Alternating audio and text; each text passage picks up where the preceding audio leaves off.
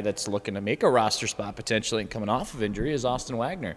We talked about him a couple weeks ago. He was in a red no contact jersey, but still getting his uh, skating in. But now he's wearing a, a, normal jersey like everybody else and participating in, in, full drills. What's your anticipation for him? I know there's a big debate of whether he stays here or goes back to junior hockey, but uh, what are you hoping for and what do you think will happen with the youngster?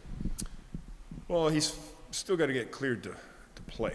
I mean, uh, the, the progression has been good thus far, but you know, he's been out for months, and um, you know, we again want to make sure that uh, everything's taken care of, his health and his well-being.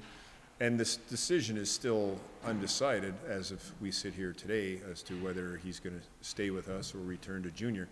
There's lots of pros and cons for each direction. You know, his his team is going to be hosting the Memorial Cup, which is the pride of junior hockey, and it's a guaranteed playing till the end of May. When you're hosting it, you're automatically given a berth into that championship. Uh, so there's that. Um, then there's also the, the, thought of, well, let's get him playing pro as soon as possible, fast track him uh, to becoming a, a, a, contributor to not only our team, but hopefully with the Kings someday. And he's got an element that, you know, the organization isn't naturally blessed with, and that's amazing speed.